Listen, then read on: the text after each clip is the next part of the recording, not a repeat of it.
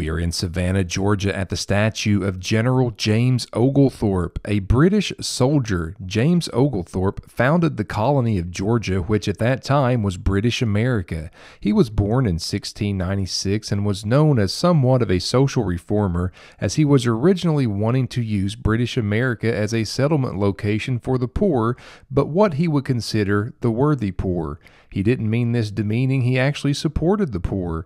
Although he would pass away in England, he will forever be tied to the state of Georgia. Another interesting fact about where we are today we are in Chippewa Square in Savannah, which is the same square that appears in the movie Forrest Gump. It is the location where Forrest actually sat on the bench.